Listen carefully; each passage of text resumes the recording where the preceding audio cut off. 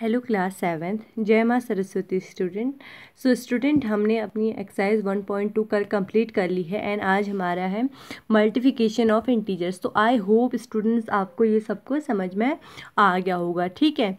तो हमारा multiplication of integers का, के लिए कुछ रूल्स होते हैं ओके अगर हम इस बुक जैसे बुक में लिखा है, उसको पढ़ेंगे तो काफ़ी लेंदी है तो हम इन शॉर्ट समझते हैं और डिटेल में समझते हैं ओके तो स्टार्ट करते हैं हम क्या? मल्टीप्लिकेशन ऑफ़ इंटीजर्स के रूल तो मैंने ये रूल पहले से लिख लिया, आप भी इनको अपनी नोटबुक में नोट कर लेना। Okay ten multiplication of integers तो इंटीजर्स हमारे मल्टीप्लिकेशन में क्या रूल होते हैं?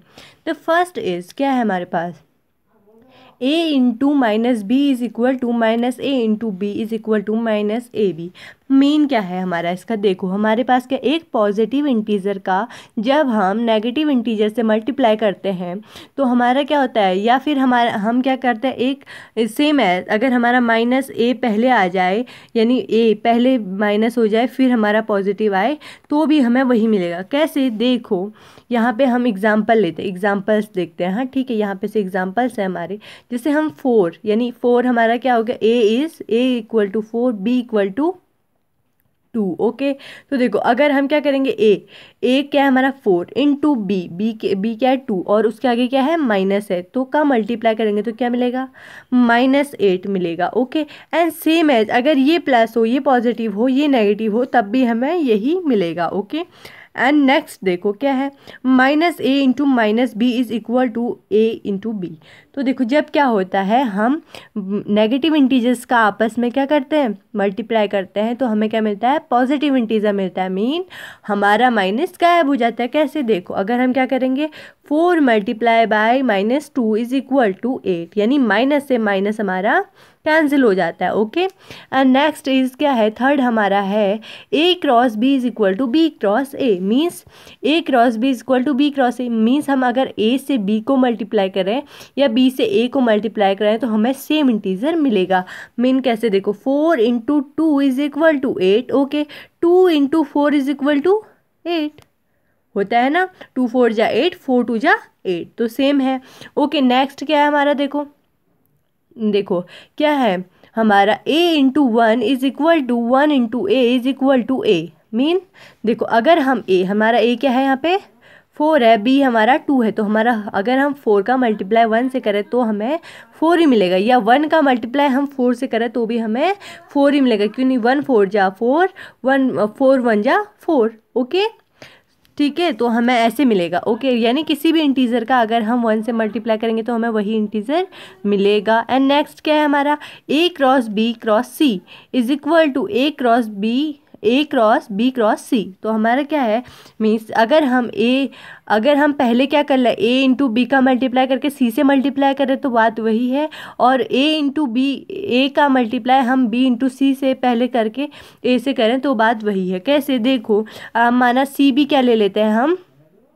सी माना हम क्या लेते हैं? टू ही ले लेते हैं ओके सी भी हमारा टू हो गया ओके तो देखो फ़र्स्ट क्या है? हम पहले की जगह पे रख लेते हैं four into two into two तो देखो, पहले हम फोर इंटू टू करेंगे एट इंटू टू तो ये वाला टू आ गया।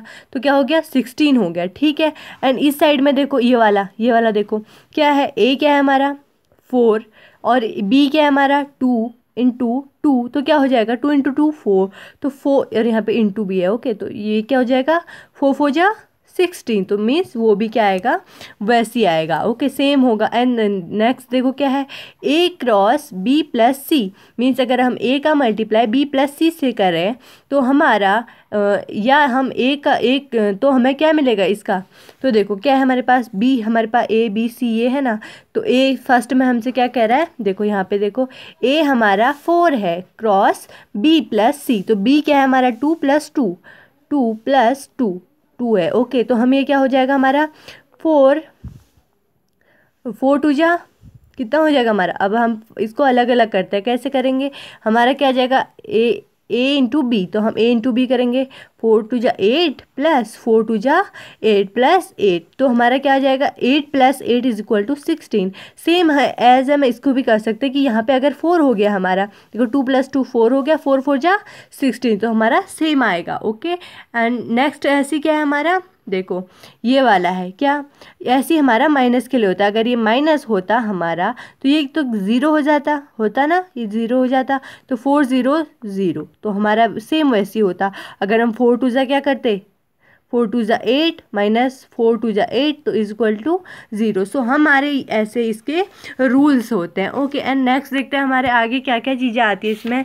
ये रूल्स हमारे कुछ हैं जो हमने पढ़ लिए। तो आप जो मैंने पढ़ा है उसका स्क्रीन शॉट लेके आप उसको पढ़ेंगे। ओके, अब देखते हैं हम सीधे एक्सरसाइज में चलते हैं क्योंकि मैंने इसके सारे रूल्स आपको नोट करा दिया हाँ इसमें कुछ एग्जाम्पल्स हैं।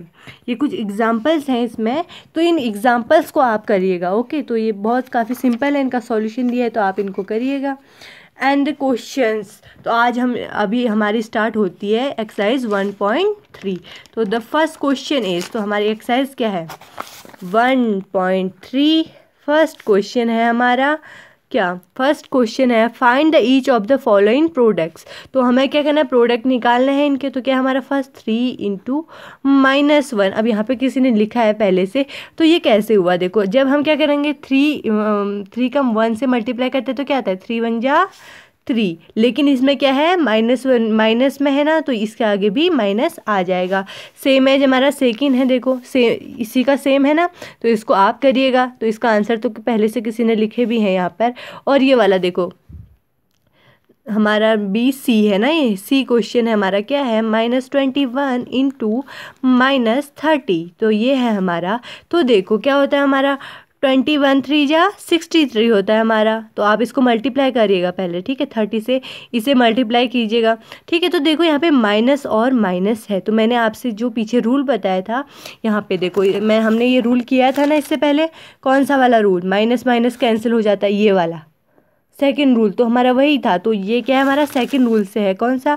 तो इसका माइनस कैंसिल हो जाएगा तो क्या हो जाएगा? इसमें वन ज़ीरो और है तो ज़ीरो यानी इसका आंसर क्या होगा? ये होगा ओके ऐसे ही हमारा डी देखो डी में भी सेम वही है माइनस माइनस कैंसिल वाला, और देखो हमारा ई e देखते हैं हम अब। ई e हमारा क्वेश्चन क्या कह रहा है? Minus fifteen into zero into minus eighteen तो क्या कह रहा है? Minus fifty into zero into minus eighteen तो जब हम माइनस फिफ्टी का ज़ीरो से करेंगे फिफ्टीन ज़ीरो ज़ा ज़ीरो इंटू माइनस एटीन तो एटीन ज़ीरो ज़ा ज़ीरो यानी इसका हमारा आंसर क्या आ जाएगा? ज़ीरो यानी किसी भी इंटीजर का हम ज़ीरो से मल्टीप्लाई करते हैं तो हमें क्या मिलता है? ज़ीरो तो सेम है जिसके बाकी क्वेश्चन है जिनमें हमारे रूल्स यूज़ हो रहे हैं तो आप उनको करना ओके थैंक यू गाइज़ और आगे हम कल पढ़ेंगे और आप इनमें कोशिश करना ओके